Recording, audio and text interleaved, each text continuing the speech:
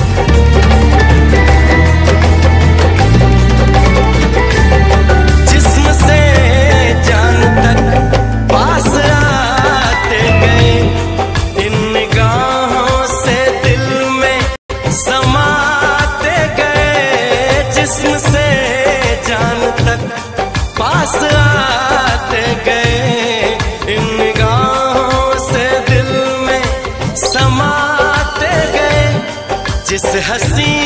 खाब की भी तम